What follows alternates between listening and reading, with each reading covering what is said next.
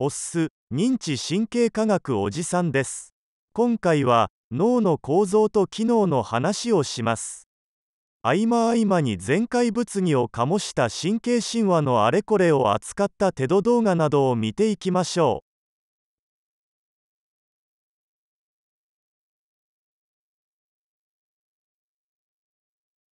これから脳の構造的な話がたくさん出てきます。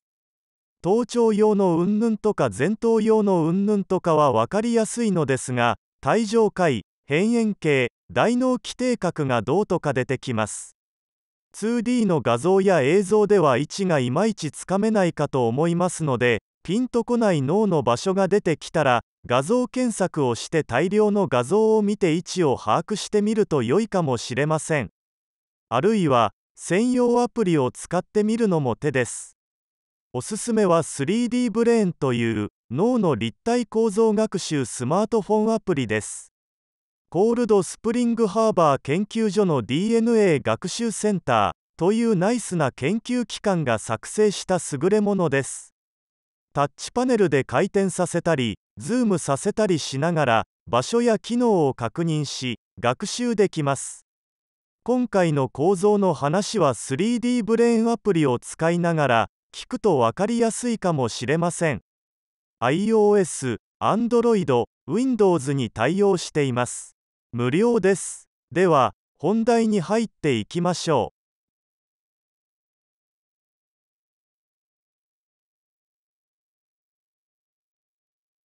脳は脂質とタンパク質からなる柔らかい組織です。脳は体の中で最も重要な器官であるためとても頑丈な頭蓋骨で守られています。頭蓋骨内は髄液で満たされていて水の中に豆腐が浮いているような感じです。麻婆豆腐を上手に作るコツはひき肉をカリカリに焼くことです。成人の脳は女性で約1.2キロ男性では1.4キロの重さです。大体体重の2.5%です。頭蓋骨を含めた頭の重さは体重の10%くらいです。ちなみにマッコウクジラの脳は9キロゾウさんは5キロくらいです。脳は表面面積を確保するため脳孔いわゆるシワがあります。人の脳を広げると2.2平方メートル新聞紙を広げたくらいの広さになります。シワが深いほど知能が高そうですがそういうわけでもありません。バンドウイルカの脳は約1.5キロと人よりも重くシワも人よりも広いですがその知能は人の3歳児くらいです。ちなみにキリンはもうシマウマはワンワンと鳴くそうです。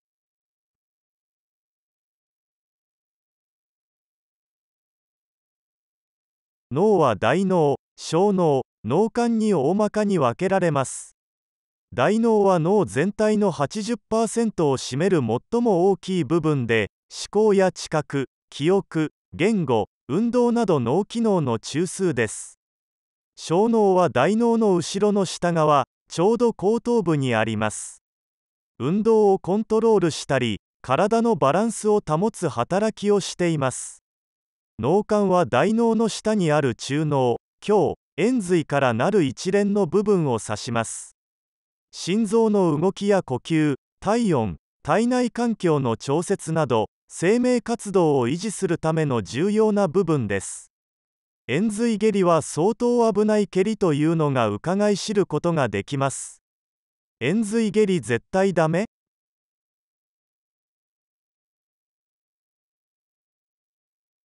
大脳は2つの大脳半球左脳と右脳に大きく分かれており脳梁という神経繊維の太い束で結ばれています。脳梁の他に前後連後後連などの神経繊維でも左右の半球は結ばれて情報を伝達しています。大脳は表面から奥へ向かうのに従って大脳新皮質大脳辺縁系大脳基底核部という部分から成り立っています。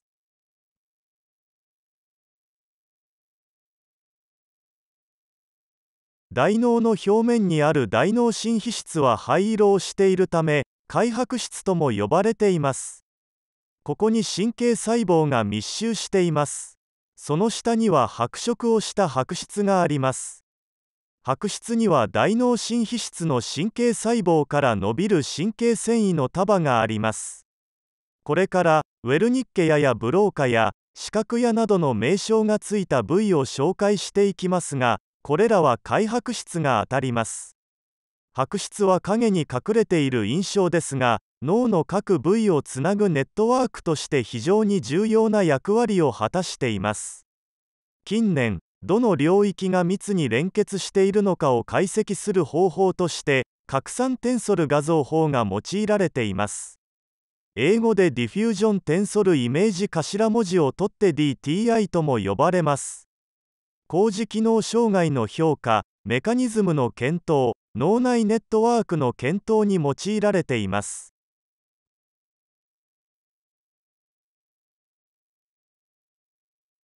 人など知能の発達した動物ほど新皮質が発達しています。人では大脳皮質の90%が新皮質です。大脳新皮質が思考や知覚記憶言語運動など高度な脳機能の中枢といえます。厚さ1.5から 4mm の組織です。人はこの大脳新皮質が発達しており大脳皮質の約90%が新皮質です。新皮質の発達により大脳の奥へ追いやられることになったのが旧皮質コ皮質です。この旧皮質とコ皮質の部分が大脳辺縁系にあたります。辺縁系とは文字通り縁に追いやられたという意味合いがあります。大脳辺縁系は怒りや恐怖不安など原始的な感情や食欲性欲などの本能さらに記憶に関連している場所です。大脳辺縁系がいわゆる心や感情に深く関わっている場所と言えます。最も奥にある大脳基底核は脳幹や小脳と連絡を取り合い運動やバランスをコントロールしています。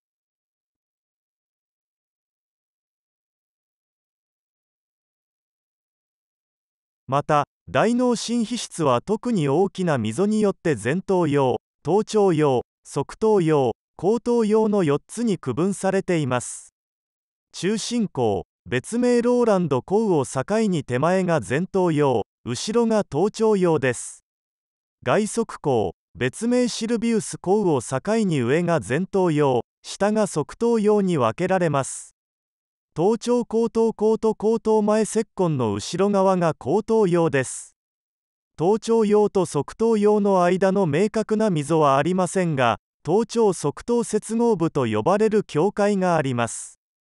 ここに味覚屋やウェルニッケヤという言語屋があります。これからいろいろな脳部位の名前が出てきます。困惑しがちですが解剖学的な定義があるのでざっくりと覚えましょう。上側頭解中側頭孔など解や孔が出てきます。解はシワの膨らみ孔は表面のシワの部分を指します。その位置関係によっても名前がつき前後左右外側内側背側腹側など各領域に名前がつくことがあります。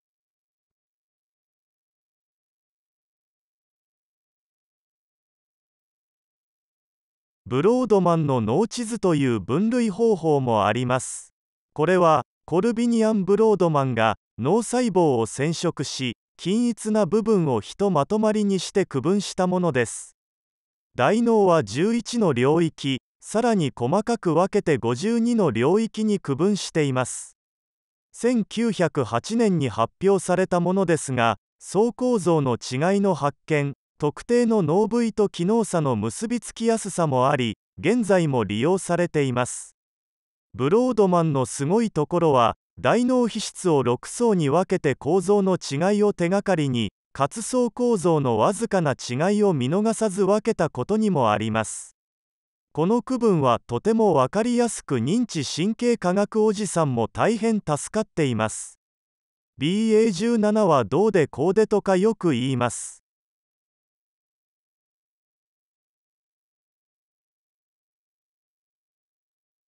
大脳新皮質は場所によってそれぞれ異なる機能を持っています。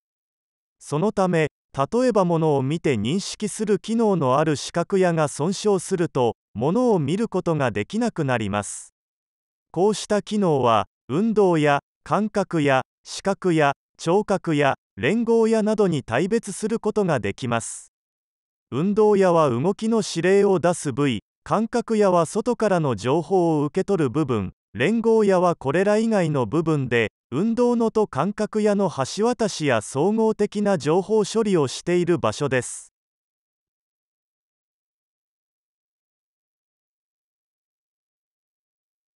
大脳は大脳重列という大きな溝によって2つの大脳半球いわゆる左脳と右脳に分かれています。左脳と右脳という表現は一般用語で学術的には左半球と右半球と言います。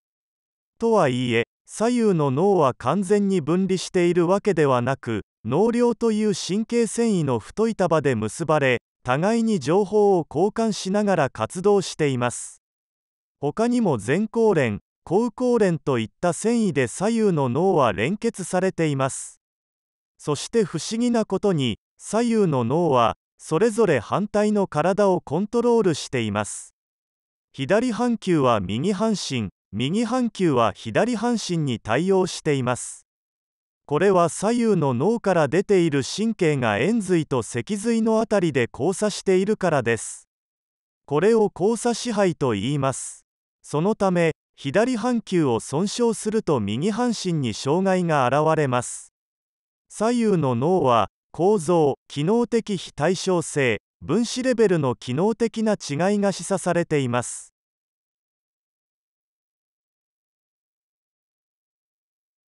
大脳辺縁系は大脳新皮質の下脳幹の上に位置する体上界扁桃体側座角海馬などから成り立つ部分を示しています。新しく発達した大脳新皮質によって大脳の奥へ押しやられてしまった古い脳です。とは言っても非常に重要な機能を持っており感情生存本能である食欲性欲に関連した行動の処理と調整を行います。大脳辺縁系の活動はストレスに対する重要な身体反応で内分泌系や自律神経系と密接に関連しています。匂いに関する身体反応の処理も行います。体上界は脳梁の辺縁を前後方向に走る広い領域です。体上界は大脳辺縁系の各部位を仲介しています。体上界は主に情動や痛みの調整記憶自己制御と関連しています。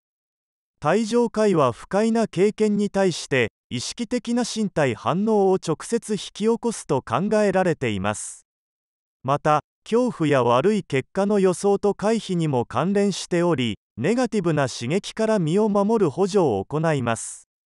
望ましくない結果の回避の学習は記憶の重要な特徴の一つと言えます。体上界は情報を回不快かにざっくりと分けてこれからどのような行動をするかを決定する意欲や動機づけに関係しています。扁桃体は快不快恐怖などの感情と関連しています。ここを切除された猿は恐怖心がなくなり正常なら本能的に恐れる蛇を怖がらなくなり食べようとしさえします。この症状をクルーバービューシー症候群と言います。ちなみに扁桃とはアーモンドのことで形がアーモンドに似ていることから名付けられました。喉の扁桃腺とは別物です。扁桃腺が腫れた場合は喉が痛かったり熱が出たりしますが扁桃体が肥大した場合は機能が更新し不快な感情が想起されやすかったり感情的に敏感になったりといった PTSD のような症状が引き起こされます。詳しくは感情のところで扱います。海馬は側頭葉の内側にある球状の器官です。ギリシャ神話に登場するポセイドンが乗るヒポカンパスという怪物が由来だという説があります。ヒポカンパスは上半身が馬下半身が魚類で前足が水かき胴体の後ろ側に魚の尾ひれがついています。あるいはタツノオトシゴに似ているという説もあります。脳の海馬と無関係ですがセイウチの別名を海馬というそうです。さらに関係ありませんがセイウチの由来となったロシア語のシブーチはトドを意味する言葉だそうです。シブーチセイウチです。セイウチの口臭は白クマも逃げ出すくらい強力だそうです。海馬は感覚器官からの短期的な情報の制御やそれを長期記憶に移行させる際に重要な役割を果たしていると考えられています。長期記憶は大脳新皮質で保管されます。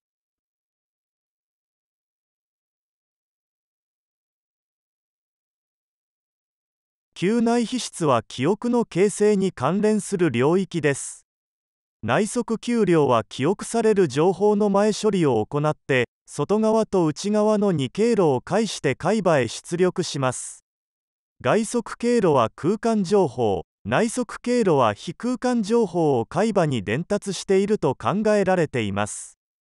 視床下部はさまざまなホルモンの分泌を調節することで自律神経の交感神経と副交感神経をコントロールし性欲や食欲など本能的な行動や呼吸体温血圧消化機能など体内環境を維持する重要な働きをしています。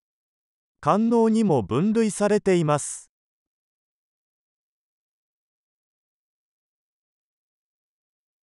大脳基底核は大脳の一番奥にあり大脳の表面にある大脳新皮質と同じく神経細胞が集まった部分です。こうした神経細胞の集まりのことを神経核と言います。大脳基底核もそうした神経核で側座核単層球比較微状核視床価格黒質などから成り立っています。運動開始バランス眼球運動姿勢を制御する構造部位群で構成されています。脳内の他の運動関連部位と強い結合があり運動やを介して視床にも結合しています。認知と情動行動にも関連があり報酬や強化私癖行動や習慣の形成において重要な役割を果たしています。即座角は報酬や快感やる気に関連しています。単層球と比較を合わせた部分をレンズ角比較と微乗角を合わせた部分を線状体と言います。無意識的な運動を伝達する神経路のことを衰退路と呼びますがこうした運動を反射的無意識的に補助する神経路を衰退回路系と言います。大脳基底核は衰退回路系に含まれます。大脳基底核は脳幹や小脳と連絡を取り合って正常な運動ができるように制御しています。具体的には姿勢を安定させ運動の開始や停止を制御しスムースな動きができるようにしたり顔の表情を作る機能があります。そのため大脳基底核の損傷は運動障害として現れます。有名なものとしてはパーキンソン病があります。パーキンソン病は黒質を損傷しドーパミンの分泌量が減少した結果手足が震えたり動きが鈍くなったりします。当事者となったバックトゥザ・フューチャーの主人公役を務めたマイケル・ J. フォックスの話が有名です30歳で発症して37歳まで症状を隠しながら俳優業を続けたそうです39歳で一度引退しパーキンソン病の研究女性活動の財団設立自伝執筆などしたそうです現在は俳優業に復帰し多くのドラマ作品に出演しています。遺伝性の疾患であるハンチントン舞踏病では微情覚の異常によって自分の意思とは関係なく手足などが動いたり顔の表情が変化するという症状が現れます。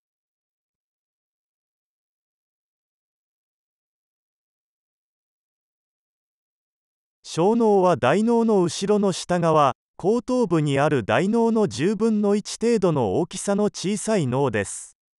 小脳も大脳と同じように左右の半球に分かれています。小脳半球と言います。表面が開白質中が白質になっているのも大脳と同じです。小さいですが大脳以上のシワがあり表面積は大脳の75%に相当します。さらに大脳の神経細胞が約140億個なのに対して小脳の神経細胞は約1000億個以上あります。小脳は体のバランスを保ちながら運動をコントロールしています。大脳からの指令を調整し大脳基底核などと連携しながらスムーズな運動を可能にしています。特に意識することなく歩いたり走ったりさまざまな運動ができるのも小脳の働きのおかげです。さらに小脳には学習によって獲得した動作を記憶しておく機構があります。自転車やピアノの弾き方職人の技も小脳がそれらの情報を保持しているからできます。また目を閉じた状態で自分の鼻や口に触れることができるのも小脳が正常に働くためにできます。そのため小脳に異常が生じると体のバランスが取れなくなったりスムーズに動けなくなります。アルコールを取ると体がふらつくようになるのも小脳の働きが低下するためです。アルコールを摂取し続けるとアルコール性小脳失調症アルコール性小脳萎縮症となりアルコールの長期的摂取で脳萎縮が進行します。断酒によって改善するようです。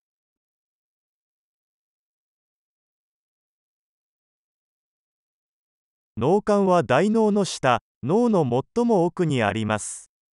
肝脳から円髄につながる幹状の部分のことを言います。講義には肝脳中脳胸円髄まで競技には肝脳を除いた中脳から円髄までを指します。進化的には最も古い脳で魚類や両生類などの脳はほとんどを脳幹が占めています。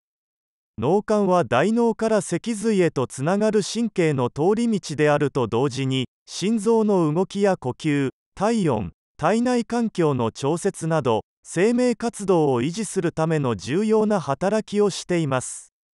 そのため脳幹が機能停止になると死亡します。大脳が機能を停止して脳幹だけが活動しているのがいわゆる植物状態です。さらに脳幹には神経伝達物質を脳内へ放出する神経細胞の集まりがあります。中脳は視覚や聴覚の中継をするとともに眼球の動きや光の強弱により目の動向を開閉する反射機能近くのものを見るときの調節機能などに関係しています。今日は円髄のすぐ上の部分で脳と円髄や脊髄小脳を中継しています。呼吸や食べ物を噛む動作顔面の動きなどに関係しています。最も下に位置する円髄は心拍呼吸血液物を飲み込む動作咳やくしゃみをコントロールしています。また脳幹には神経細胞と神経繊維が網の目のようになっている部分があり毛様体と呼ばれています。ここは意識や覚醒睡眠と関係しています。生命維持に不可欠な機能に関連しています。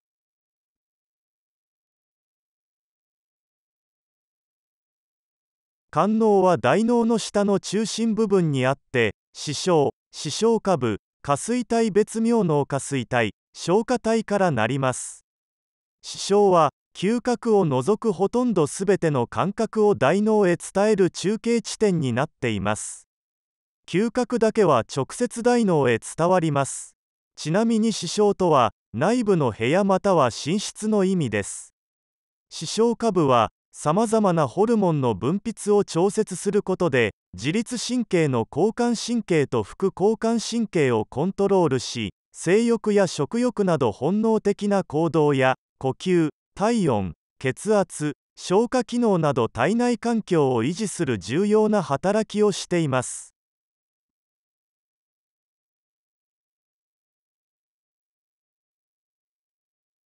下垂体別名脳下垂体は視床下部の下にぶら下がるようについている 1cm 程度の小さい部分です。大きく前葉と後葉に分けることができます。下垂体は視床下部との連携のもと体内環境を維持するためのホルモンである成長ホルモン甲状腺刺激ホルモン副腎皮質刺激ホルモン卵黄刺激ホルモン黄体形成ホルモンプロラクチンバソプレッシンオキシトシンなどを分泌します。なおプロラクチンは女性ホルモンの一種で乳腺刺激ホルモンまたは黄体刺激ホルモンとも言います。オキシトシンも女性ホルモンの一種で子宮を収縮させたり心を穏やかにする作用があります。オキシトシン警備スプレーによって自閉スペクトラム症の対人コミュニケーション障害傾向が改善される傾向を示した山瀬らの研究や向かい社会的行動への影響を示した広沢らのような研究が報告されていたりします。バソプレッシンは血圧の上昇や尿量を調整する作用があります。消化体は視床の後ろ側にあって体内時間つまり1日の生活リズムを調整するのに関連したメラトニンというホルモンを作り分泌しています。